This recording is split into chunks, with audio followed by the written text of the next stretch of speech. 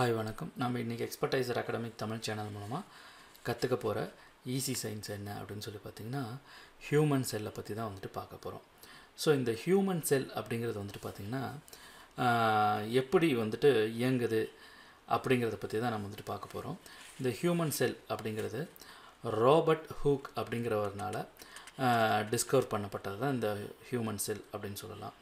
இவர் தான் வந்துட்டு இந்த ஹியூமன் செல்லுக்குள்ளார என்னென்ன காம்போனன்ட்ஸ் எல்லாம் இருக்குது என்னென்ன மாதிரி செயல்படுது அப்படிங்கிறத வந்துட்டு இந்த ராபர்ட் ஹூக் அப்படிங்கிறவர் தான் கண்டுபிடிக்கிறார். இது வந்துட்டு இந்த ஹியூமன் செல் வந்துட்டு பார்த்திங்கன்னா நம்மளோட ப உடம்பே வந்துட்டு பார்த்திங்கன்னா பல கோடி செல்களால் ஆனது தான் நம்மளோட உடம்பு அப்படின்னு சொல்லலாம். நம்மளோட உடம்பு மட்டும் இல்லை இந்த உலகத்தில் வாழ்கிற எல்லா உயிரினங்களும் வந்துட்டு பல கோடி செல்களால் ஆனது தான் இந்த உடம்பு. அதாவது ஸ்கின் எல்லாமே வந்துட்டு ப பல கோடி செல்களால் ஆனது தான் அப்படின்னு சொல்லலாம். ரைட் இப்போ இந்த செல்லுக்குள்ளே வந்துட்டு போகிறோம்னு வச்சுக்கோங்களேன். இது எப்படி இருக்கும் அப்படின்னு சொல்லி பார்த்தீங்கன்னா செல்லுக்கு வெளியில் ஒரு காம்பவுண்ட் சுவர் மாதிரி இருக்கும். இது என்ன பண்ணும் அப்படின்னு சொல்லி பார்த்தீங்கன்னா அஹ், தேவை தேவையானது தேவையில்லாதது. இந்த விஷயங்களை எல்லாம் அனுப்புறது வெளியே அனுப்புறது உள்ளே அனுப்புறது வெளியே அனுப்புறது. இந்த மாதிரியான விஷயங்களை வந்துட்டு பண்ணக்கூடியதான் இந்த செல் மெமரைனோட வேலை. அதாவது தேவையான விஷயங்கள் அப்படிங்கும்போது இது ஒரு அவுட்டர் கவரிங் செல் அப்படின்னு சொல்லலாம். செல் மெம்பரைன் வந்துட்டு ஒரு அவுட்டர் கவரிங் செல்னு சொல்லலாம். இதுக்குள்ளே வந்துட்டு ஒரு ஃப்ளூயோடு வந்துட்டு இருக்கும் அப்படின்னு சொல்லலாம். இந்த ஃப்ளூயோடுக்குள்ளே தான் வந்துட்டு இந்த டோட்டல் செல்லுமே வந்துட்டு மிதந்துகிட்ருக்கும் அப்படின்னு சொல்லலாம். இந்த செல் மெம்பரைன் வந்துட்டு ஒரு காம்பவுண்ட் வால் மாதிரி செயல்படும். இப்போ தேவையான குளுக்கோஸ் இல்லை தேவையான அந்த செல் வளர்கிறதுக்கு தேவையான நல்ல விஷயங்கள் எல்லாம் வந்துட்டு உள்ளே அனுப்பும். அதுவே தேவையில்லாத ஹார்ம்ஃபுல்லான விஷயத்தெல்லாம் திருப்பி அனுப்பிச்சிடும். ஸோ இந்த மாதிரியான விஷயங்களெல்லாம் வந்துட்டு இந்த செல் மெம்பரைன் அப்படிங்கிற விஷயம் வந்துட்டு பண்ணும் அப்படின்னு சொல்லலாம். ரைட் இப்போ செல் மெம்பரைன்னா என்ன? அதாவது ஒரு காம்பவுண்ட் வால் மாதிரி ரியாக்ட் ஆகும்.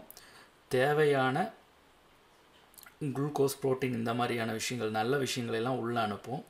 தேவையற்ற ஹார்ம்ஃபுல்லான விஷயத்தெல்லாம் திருப்பி வெளியில் அனுப்பிச்சிடும்.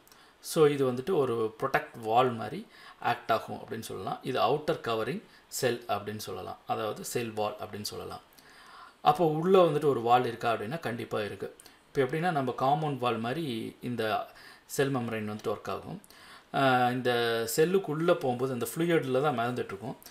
அதெல்லாம் வந்துட்டு பார்த்திங்கன்னா அதுக்குள்ளே வந்து தனித்தனி அறைகள் வந்து அறைகளுக்கு எப்படி வந்துட்டு சுவர்கள் இருக்குதோ செப்பரேட் பண்ணியிருக்கோ அது மாதிரி அது அதுக்குன்னு சொல்லிட்டு ஒரு செப்பரேட் வால் வந்துட்டு இருக்கும்.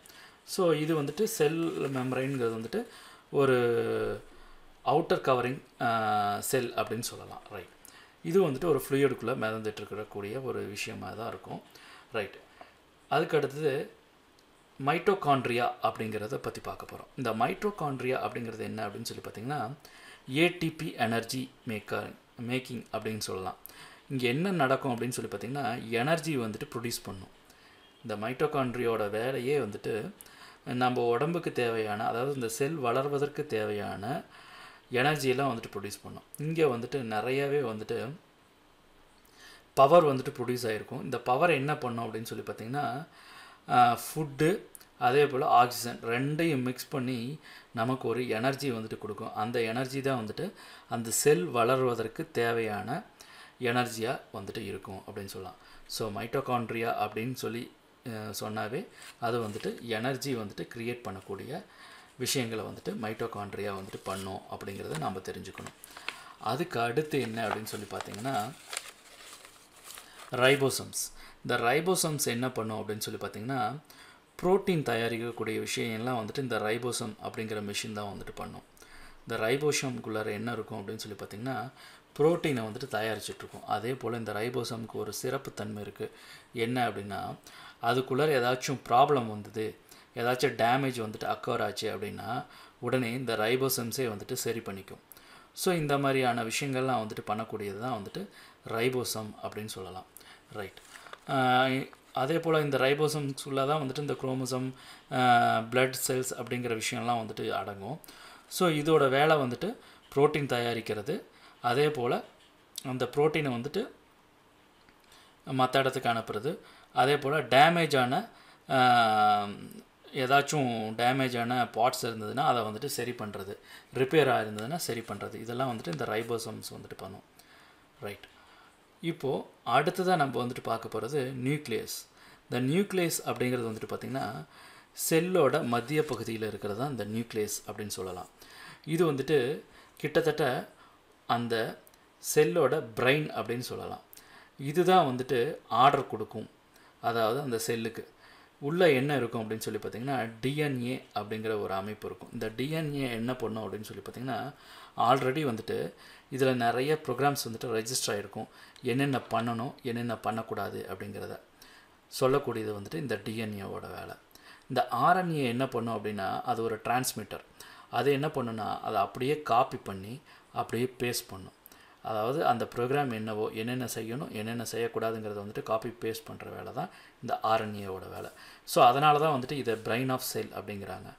இது வந்துட்டு பார்த்திங்கன்னா இந்த குரோமோசம் எண்ணிக்கையெல்லாம் இருக்குது அதெல்லாம் வந்துட்டு நம்ம டீப்பாக பார்க்க தேவையில்லை.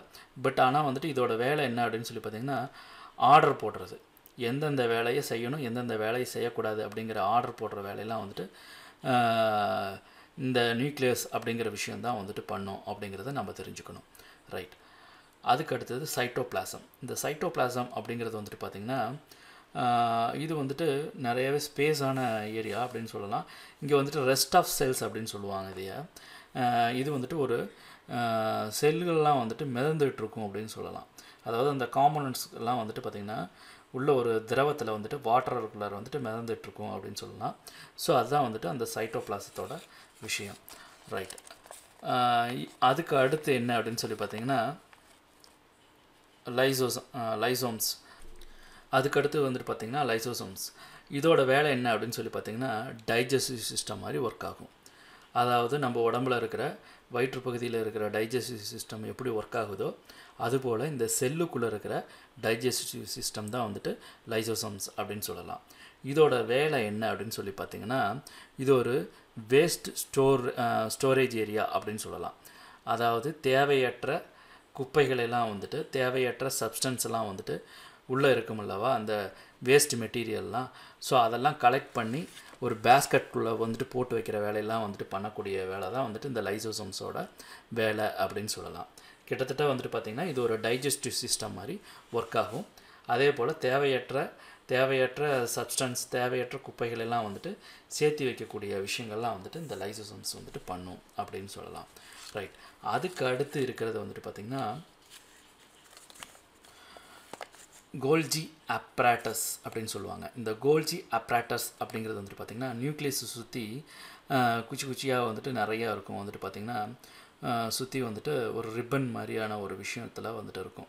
அதாவது பெண்டாய் பெண்டாய் எல்லோ கலரில் இருக்கும். அதே போல் வந்துட்டு பார்த்திங்கன்னா ரெண்டு இதில் இருக்கும். சுற்றி சுற்றி இருக்கும். ஒரு ரெண்டு மூணு லேயர்ஸாக வந்துட்டு இருக்கும். இதோட வேலை என்ன அப்படின்னு சொல்லி பார்த்திங்கன்னா ஒரு போஸ்ட் ஆஃபீஸ் மாதிரி இதை இயங்கும் அப்படின்னு சொல்லலாம். அதாவது எந்தெந்த லெட்டர் எங்கேருந்து வந்திருக்கு எங்கே இதை அனுப்பணும் யார்கிட்ட கொண்டு போய் சேர்க்கணும் அப்படிங்கிற விஷயத்த அதே போல் கலெக்ட் பண்ணுற வேலை அதே போல் திருப்பி அனுப்புகிற வேலை. இந்த மாதிரியான விஷயங்கள் ஒரு கம்யூனிகேஷன் மாதிரி இது ஒர்க் ஆகும் அப்படின்னு சொல்லலாம். ஒரு கொரியர் ஆஃபீஸ் மாதிரி ஒர்க் ஆகும். ஒரு அமேசான் இது மாதிரி. இங்கே வந்துட்டு ஏதாச்சும் எது எது வந்துட்டு டிஸ்பேச் பண்ணணும் எது எது வந்துட்டு எது எதை வந்துட்டு அனுப்பணும் எது எதெல்லாம் வந்துட்டு எடுத்து வைக்கணும் அப்படிங்கிற விஷயத்தெல்லாம் வந்துட்டு பண்ணக்கூடிய வேலை தான் வந்துட்டு இந்த கோல்ஜியா அப்ராட்டஸ் அப்படிங்கிற விஷயம் வந்துட்டு பண்ணும். இது ஒரு போஸ்ட் ஆஃபீஸ் மாதிரி ஒர்க் ஆகும். எந்தெந்த பொருளை எங்கே அனுப்பணும் அப்படிங்கிற விஷயத்த வந்துட்டு ஷிஃப்ட் அவுட் பண்ணுற வேலையெல்லாம் வந்துட்டு இது பண்ணும் அப்படின்னு சொல்லலாம். ஸோ ஒரு தகவலை எங்கே அனுப்பணும் எங்கேருந்து வந்திருக்கு அப்படிங்கிற விஷயத்தெல்லாம் வந்துட்டு இது கலெக்ட் பண்ணி வைக்கும் அப்படின்னு சொல்லலாம். ஸோ இப்போ வந்துட்டு உங்களுக்கு அந்த செல் எப்படி இயங்குது அப்படிங்கிறது வந்துட்டு ஓரளவுக்கு தெரிஞ்சிருக்கும். ஸோ இதே போல் இன்ட்ரெஸ்டிங்கான டாப்பிக்கில் கண்டிப்பாக நம்ம நெக்ஸ்ட் இந்த வீடியோ டியூட்டோரியல் உங்களுக்கு பிடிச்சிருந்ததுன்னா லைக் பண்ணிக்கோங்க. எக்ஸ்பர்டைசர் அகடமிக் சேனலை சப்ஸ்கிரைப் பண்ணாதவங்க சப்ஸ்கிரைப் பண்ணிக்கிங்க. கூடவே பெல் ஐக்கனையும் கிளிக் பண்ணிக்கிங்க. தேங்க்யூ பாய் பாய்